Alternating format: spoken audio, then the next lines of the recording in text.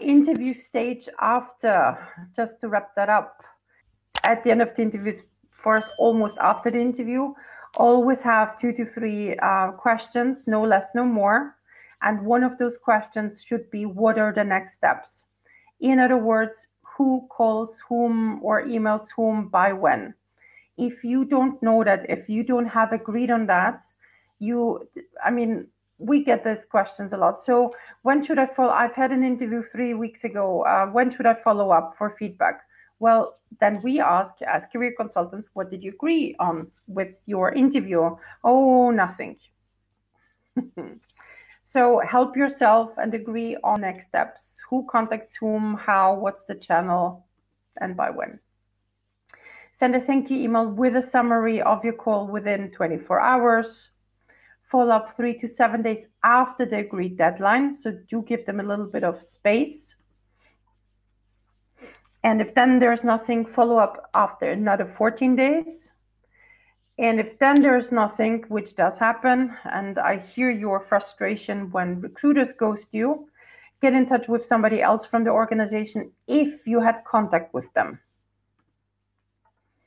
Um, Another tip, make a summary of the interview for your own records. Um, why? Once you have more than five interviews, you'll start mixing up companies and confusing people.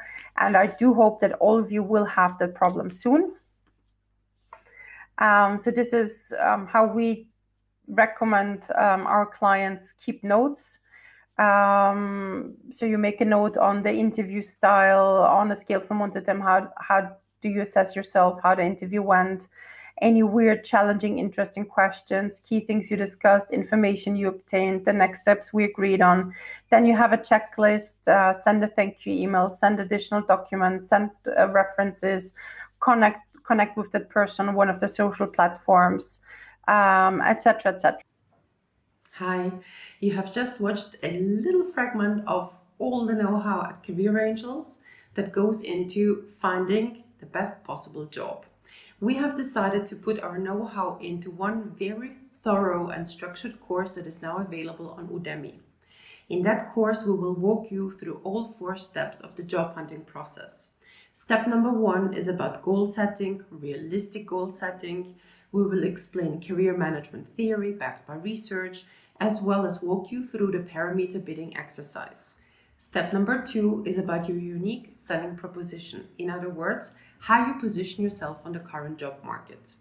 Step number three is about communicating that in your CV, your CV for applicant tracking systems, and your optimized LinkedIn profile.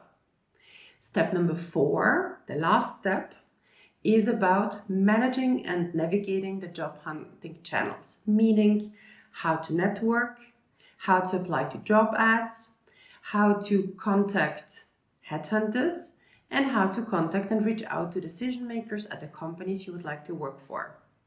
So in summary, the course is very thorough, explains all our methodology and is now available on Udemy. Summarizing, our course on Udemy walks you through the four steps of the job search process.